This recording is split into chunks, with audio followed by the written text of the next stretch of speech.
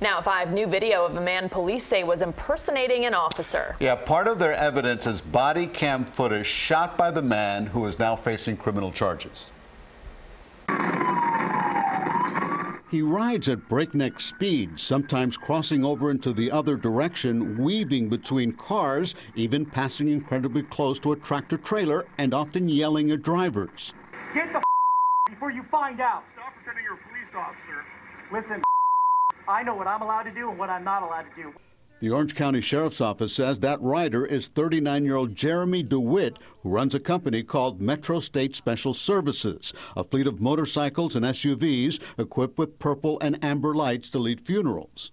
Go ahead and pull your little phone out, I'm not do your little anyone Google search, and figure out what we're doing and what I we know legally you're doing. allow. Good. Then back off. And Windermere police first arrested DeWitt for impersonating an officer while escorting a funeral and then tussling with real officers who stopped him last month.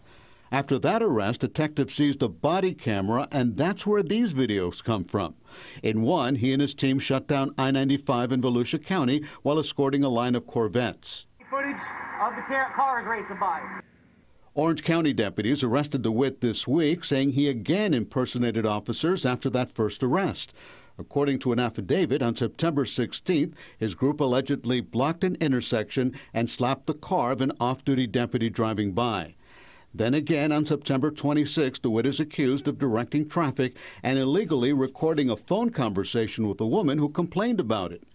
That video was on the body cam that Windermere police confirm was seized 19 days earlier.